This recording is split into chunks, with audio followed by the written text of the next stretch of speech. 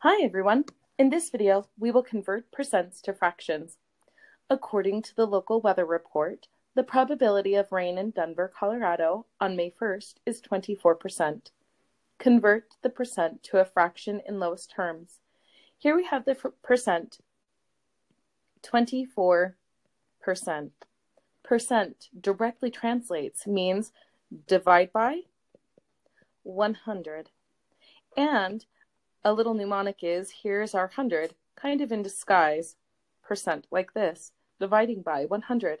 So we can rewrite this 24% as 24 over 100, just like the definition, per, divide, cent, 100.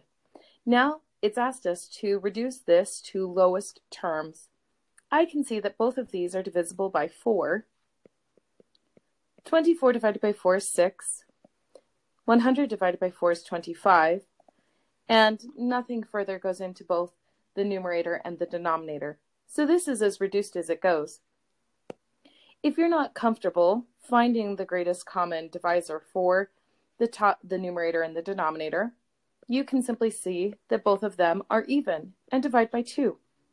24 divided by 2 is 12. 100 divided by 2 is 50. And again, you can see that both of these are even, which means you can divide them both by 2 again, giving us 6 and 25.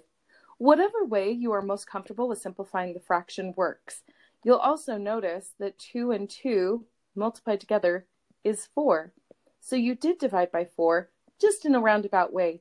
And that's okay. You can divide by whatever you see as a factor of both the numerator and denominator until you can find that you can't simplify it any further, and then we're all done.